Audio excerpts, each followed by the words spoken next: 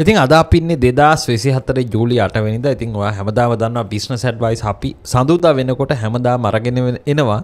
ගිය සති මොකද ශාමාකට්ටක වුණේ ඒ වගේම මේ සතිය ඔයා ගන්න ඩිසිෂන්ස් වලට එක පාවිච්චි කරන්න කොහොමද කියන එක දැනගන්න ඕන විස්තරේ ඉතින් අදත් රසික හෙමන්ත ඇවිල්ල ඉන්න රසික අයිබෝවන්? අයිබෝන් සුබ දවසක් ඒ වගේම පළවෙනියට මං අහන්න කැමති මොනවද? ගිය සතියෙන් ආපු හොඳම නිවුස් එක ඔව් ගිය සතියේ ආපු හොඳම නිවුස් එක තමයි සොයරිත්ත බැඳුම් කරවල ප්‍රතිවර්ධක කිරීම සිදු වුණා. ඉතින් ඒක අපි බලාපොරොත්තු වුණු දෙයක්. මොකද ඒ තුලින් තමයි අපේ අනාගතයට කොහොමද විදේශ ආයෝජන එන්නේ ඒ ඒදී ඒවා කොහොමද විසඳෙන්නේ කියන එක ගැන සුබදායි ලෙස ඒ ටික අවසන් වුණා. ඉතින් අපි ඒකේ ඉදිරියේදී බලා ගන්න පුළුවන් අපිට ඇත්තන වාසී සහ අවාසී දේවල් ඒ ඇග්‍රීමන්ට් ඉදිරිපත් කරායින් පසුව ඉතින් ඒක තමයි සිදුවිච්ච සුවිශේෂීම දේ මොකද අපි අමාකට් එක ඉන්න කට්ටියත් ඒ වගේම ලංකාව ආර්ථිකයේ හැම පැත්තෙන් බලපුවම ඕක බලන් අපි හිටපු දෙයක්. ඉතින් ඒක සිදුවීම තමයි ගිය සතියේ සිදුවිච්ච වැදගත්ම දේ. ඔව් ඊට පස්සේ රසික මොකද අපිට මාකට් එක ගිය සතියේ ඩවුන් කියලා කියන්නේ ගොඩක් අය. මොකක්ද හේතුව? ගිය සතියේ කොටස් වෙළඳපොළ ඇත්තටම මිල ගණන් අඩුවීමක් සිදු වුණා. පිරිවැටුම අඩු වුණා. ඉන්ඩෙක්ස් වල අඩුවීමක් සිදු වුණා. ඉතින් ඒකට මූලික වශයෙන් බලපෑවා මේ අපි කලින් සතියුත් සඳහන් කරා අර කමර්ෂල් බැංක් එක ඩිබෙන්චර් එකක් වගේ ඉෂුව කරා. ඒකත් මාකට් එකට බලපාන්න ඇති කියලා විශ්වාස කරනවා. මොකද හේතුව අරමුදල් ඒ වගේම මහ පරිමාණ ආයෝජකයෝ ගොඩක් දුරට මේ වගේ වෙලාවල් වලදී ඒ වගේ ඩිබෙන්චර් එකක් ඉෂුව කරද්දී ඒ සඳහා අරමුදල් තමන්ගේ යොදවීමක් සිදු කරනවා. එතකොට අර ඒ වෙලාවේදී කොටස් වෙළඳ පොලේ කොටස් මිලදී ගැනීමක් සිදු නොකර ඒ වගේ ඉෂු කරන ඩිබෙන්චර් වලට එහෙම නැත්නම් ණයකර වලට මුදල් යොදවීමක් සිදුවීමකුත් සිදු වුණා. ඔව් අපි ඒත් එක්කම බලපුවාම ඉලෙක්ෂන් එකක් ගැන කතා වෙනවා මුළු කියන්නේ රටේම හැමතැනම මේක පොඩ්ඩක් කියනවා.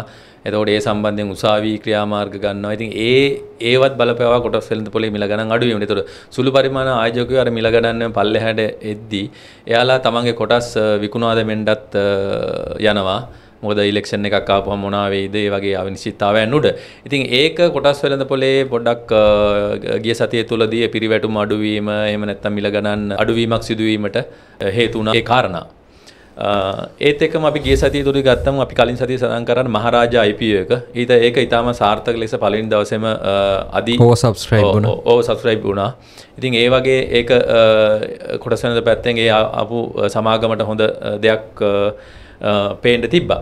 ඉතින් ඒ වගේ කාරණත් එක්කම අපි ගත්තොත් එහෙම ගිය සතියේදී අපි හැමදාම අපි හැමදාම කතා කරන මේ භාණ්ඩාගාර බිල්පත් වෙන්දේසිය.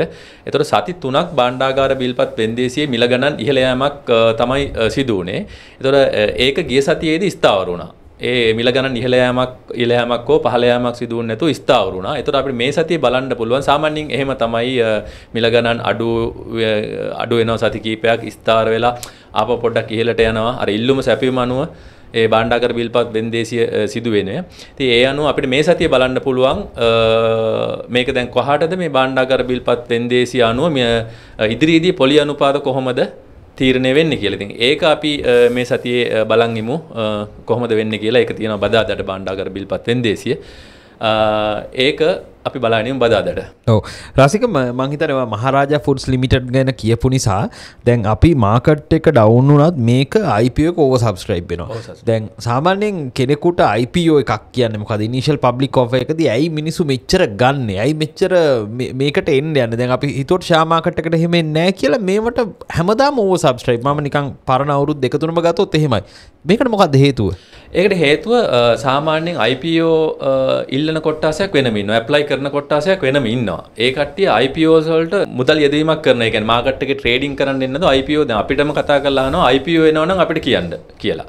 ඒතොර ඒ IPO වල මුදල් දාලා එයා අරගන්නවා. ඒ අරගෙන ඒ කට්ටිය බලාපොරොත්තු වෙනවට පළවෙනිම ටිකේ දැන් මේක ඕවර්සයිස් බයි උනාට පස්සේ මේක අදීල්ලුමක් තිබ්බට පස්සේ සමහරට ඒ ගන්න බැරි වෙච්ච ප්‍රමාණ ආපහු මේ මේ කොටසට මුදල් යෙදීමක් කරන්න පුළුවන්. එතකොට කොටස් වෙළඳපොළ තුල මේ මේකේ මිල ගණන් ඉහළ යamak වෙන්න පුළුවන්. ඒක තමයි ඔය සාමාන්‍යයෙන් IPO එකක් කරද්දී අදීල්ලුමක් ඇති වෙන තත්ත්වයක් වෙන්නේ. ඉතින් ඒක අර අලුතම වෙන සමාගමක් හින්දා ආයෝජකෙ පොඩ වැඩිපුර ඒ වගේ සමාගම් වලට මුදල් යෙදීමක් සිදු කරනවා.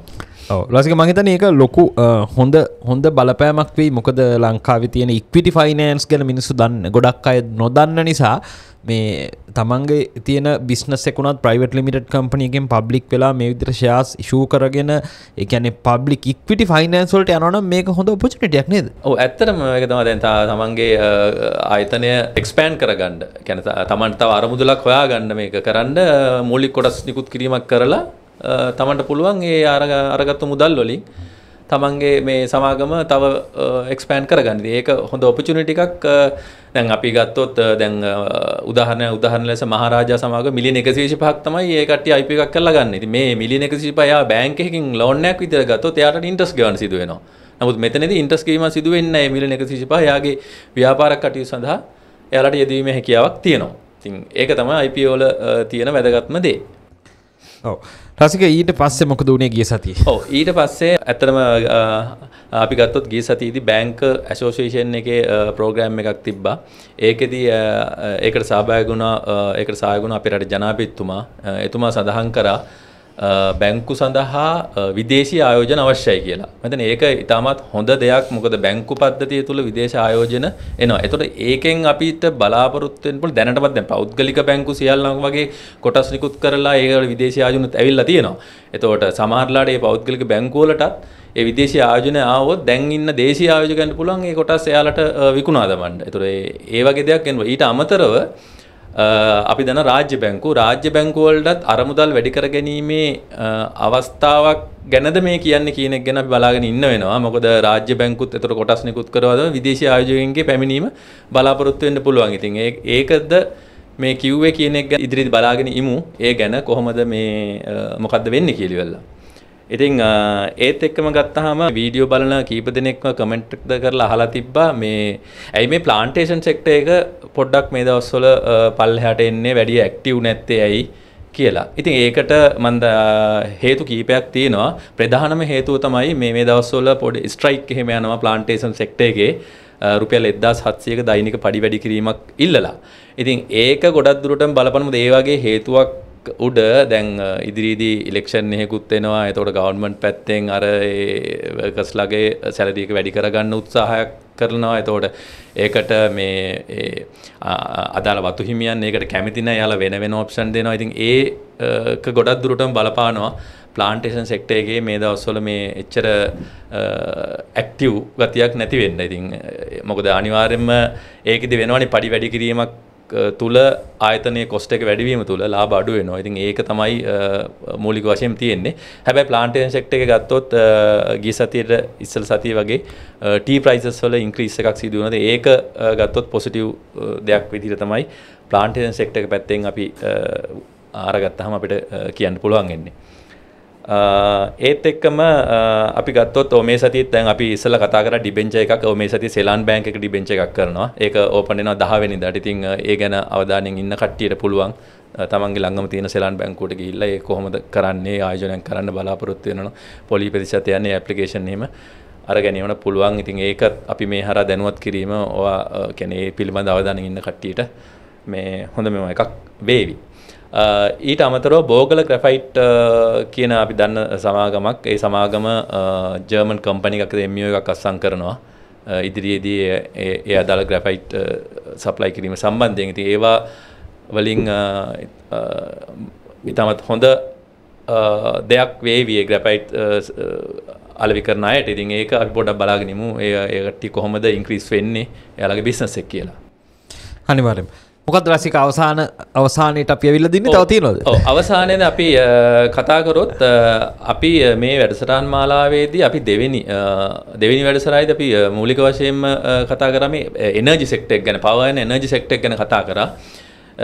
එතකොට දැන් මාසයක් වගේ ඇතුළත අපි ගත්තොත් පවර් ඇන් එනර්ජි සෙක්ටර් එක ගොඩාක් ඇක්ටිව් මේ කොටස් වෙළඳ පොලේදී. ඒකෙදි අපි දෙවෙනි වැඩසටහනේදී කිව්වා කොටසෙන්ද ලියාපදිංචි සමාගමක් කරන විදු ලංකා සමාගම හම්බන්තොට ප්‍රදේශයේ මේ සෝලා පව එකක් ඕපන් කරනවා කියලා. එතකොට ඒ සමාගම ඒ වෙද්දී සාමාන්‍ය රුපියල් 9 950 හරි තමයි ඒ කොටසක වටිනාකම තිබ්බේ. ඒක ගිය සති රුපියල් 13 දක්වා ඉහළ ගිහිල්ලා තිබ්බා. එතකොට දැන් අපි මේ අපි මේකින් දෙමුද අපි සාමාන්‍යයෙන් අපිට හැම කොටසක්ම මෙතන මෙව කරන්න බෑ. අපි කෙටි කාලයක් ඇතුළත මේක කරන නිසා. එතකොට අපි සෙක්ටවයිස් කිව් හම පොඩ්ඩක් ඒ ගැන අවධානෙන් ඉඳලා ආයෝජනයක් කරපු කෙනෙට රිටර්න්ස් දැන් ඇවිල්ලා තියෙනවා ඇත්තටම ඒ රිටර්න්ස් ඇවිල්ලා දැන් මොකද දැන් සාමාන්‍යයෙන් කොටස් වෙනද පුළ ඒ වගේ 120ක් 25ක් 30ක් රිටර්න් එකක් එනවා කියන්නේ ඉතින් ඒ අපි දැනගන්න ඕනේ අපේ ඒ අදාළ ලාභය අපි බුක් කරගන්න. ඉතින් ඒ ඒ දේවල් තිබයි. ඊට අමතරව අනිත් සමාගම් සියල්ලක්ම වගේ පවර් සෙක්ටර් එකේ තියෙන ගොඩාක් ඇක්ටිව් කොටස් වෙළඳ පොළ තුළ.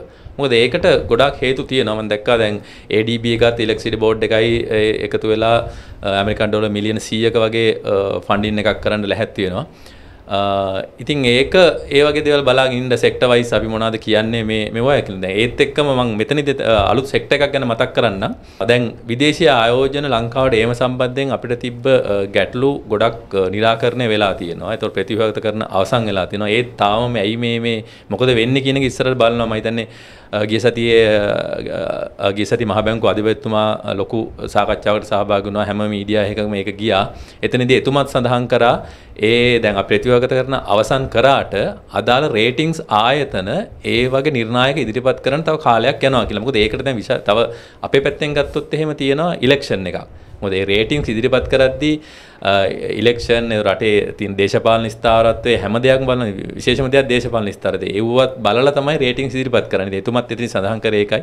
තව ටික කාලයක් ඇද්දී රේටිං ඉදිරිපත් කිරීම උඩ අපිට බලාගන්න පුළුවන් වෙයි. ඉදිරියේදී විදේශ ආයෝජන එන්නේ කොහොමද? ඉතින් මම සඳහන් කරේ දැන් විදේශ ආයෝජනය එද්දී අපේ පෝට් සිටි ප්‍රොජෙක්ට් එක දැන් ගොඩ කාලයක් තිස්සේ ඒක එක තැන නතර වෙලා වගේ තියෙනවා. අපි සාමාන්‍යයෙන් දැන් රෙස්ටුරන්ට් කීපයක් ඕපන්ලා තියෙනවා. ඇතුළට යන්න දෙනවා. නමුත් අපි ඒකේ බිල්ඩින් හැදීම ඒ දේවල් තාම පටන් ගත්තේ නැහැ. ඒතකොට ඔබලා බලන්න මේ පෝට් සිටි ආයතනයත් පෝට් සිටි ප්‍රොජෙක්ට් එකත් එක්ක මොන ආයතනද කොටස් වෙළඳ පොලේ තියෙන ආයතන ඉදිරියට එන්න පුළුවන් දැන් හොස්පිටල් වලට පහුගිය කාලේ ඇග්‍රීමන්ට් ගහුවා මේ හොස්පිටල් එක තමයි කොටස් වෙනද පොළට එන්නේ කියලා ප්‍රයිවට් සෙක්ටර් එකේ හොස්පිටල්. ඒතකොට මේ සමාගම් මෙච්චර ආයෝජන කරනවා කියන දේවල් කරලා තියෙනවා. ඒතකොට ඒ සම්බන්ධයෙන් අවධානයෙන් සිටීම ඉතාමත් වැදගත් ඉදිරි කාලය තුලදී. ඉතින් ඒත් එක්කම දැන් එන සතියෙන් පස්සේ එනවා දෙදස් විසි අතර විසි පහ මූලික කාර්තුවේ අදාළ වාර්තා ඉදිරිපත් වෙනවා. ඉතින් අපි බලාපොරොත්තුනවා ගිය අවුරුද්දත් එක්ක බලද්දි මේ අවුරුද්දේ වැඩි ප්‍රතිලාභ ලැබෙයි කියලා මේ සමාගම්වල ලාභය පැත්තෙන්. ඒක තමයි අද දින අපිට කියන්න තියෙන ලොකුම දෙයක්. ඔව රසික ඉතින් බොහොම ස්තුතියි අද දවසෙත් මේ දැනුම බෙදා දුන්නට. මොකද රසික අද දවසෙත් ටිප් එකක් දුන්නවාට යන්නෝට ශේෂත්‍ර ගැන ඩිබෙන්ච එකක් ගැන කිව සෙලන් බෑන්ක ඉතින් වායකට ඉන්ට්‍රස්ටන්ගේ පැත් ගැන හිතන්න පුළුවන්. එදා කිව්වගේ මර එනජි සෙක්ට එක ගැන අපි අයිඩිය එකක් දුන්න. ඒක යුටලයිස් කරන එක ඔයා බලන්න ඕන අපි කියන තොරතුරුත් එක් ඇති රසික බොම ස්තුතියි අපිත් එක එකතුනාට අපි ලබර සතිය හම්බ බොමස්සේ